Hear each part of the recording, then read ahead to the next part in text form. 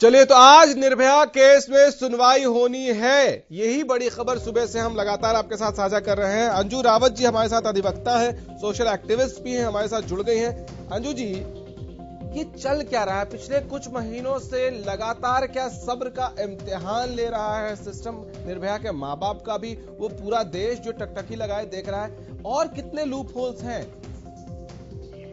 देखिए आप चाहे इसको लूप होल कहिए या इस कानून का फ़ायदा उठाना कहिए ये हमारे कानून की व्यवस्था किसी भी केस में जो एक्यूज होते हैं हम्म, उनको जो भी सजा दी जाती है हम्म, और अगर फांसी की सजा है तो वो उनको एक ही दिन दी जाएगी एक बात। हम्म, दूसरी बात है कि किसी भी चीज़ के लिए हमारे यहाँ पे समय सीमा निर्धारित नहीं है और उसका वो लोग लाभ उठा रहे हैं।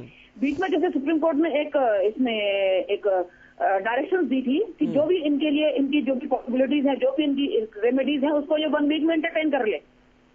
हम्म, तो उसके बाद में ही रोका जाता है। डेथ वारंट तब इशू होता है जब कहीं पर भी कोई भी एप्लीकेशन कोई रिव्यू पिटीशन कोई मर्सी पिटीशन कोई क्यूरेटिव पिटीशन पेंडिंग ना हो।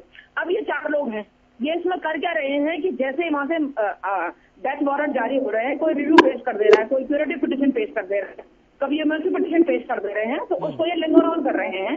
इस टाइम पे जो सिंगल सॉल्यूशन है वो ये आता है कि पार्लियामेंट में हमें बिल लाए और जो भी ये रेप के केसेस होते हैं पॉस्को के केस होते हैं और जो हीनियस मैटर्स होते हैं हम इसमें टाइम का जो एक स्लैब है वो डिसाइड करते हैं कि आज एफआईआर हुई है तो तीस दिन में चलाना आएगा।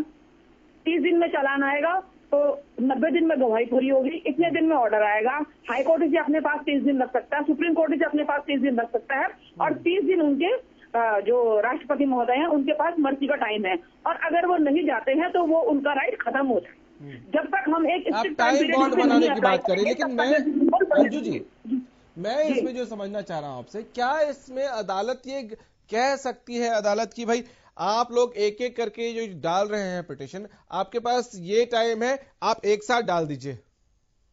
देखिए सर ये कोई कानून का प्रोविज़न नहीं है दिक्कत वहाँ पर है। हम्म, जैसे हमारे यहाँ कानून में प्रोविज़न है कि जी कोई भी अगर बंदा जेल में है तो नब्बे दिन और साठ दिन दो स्लैब है इन दो दिनों में चालान लाना ही पड़ेगा अदरवाइज़ इसे छोड़ देंगे। हम्म, तो ऐसा कोई प्रोविज़न नहीं है कि सुप्रीम कोर्ट सुप्रीम कोर्ट से अगर आपकी अपील खारिज हो गई है तो आप रिव्यू रिव्यू रिव्यू का तो चलो कोई टाइम पीरियड है कि आप मर्सी पिटिशन इतने दिन में डालोगे। और अगर नहीं डालोगे तो आपका टाइम खारिज हो जाएगा। हम्म। ऐसी कोई व्यवस्था नहीं है। हाँ कंडोलेशन ऑफ़ डिले की खूब व्यवस्था है। और ठीक इसी का ये लोग फ़ायदा उठा ठीक है। अभी और कितने गुंजाइश इनके पास बच गई है? इनके पास और क्या क्या ऑप्शंस बच गए हैं? देखिए क्यूरेटिव पिटिशन अभी एक बंदे ने मूव करी है।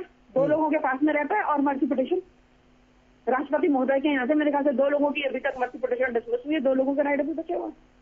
हम्म, और हम लोगों के पास अभी कानून का एक फिक्स फ्रेम नहीं है।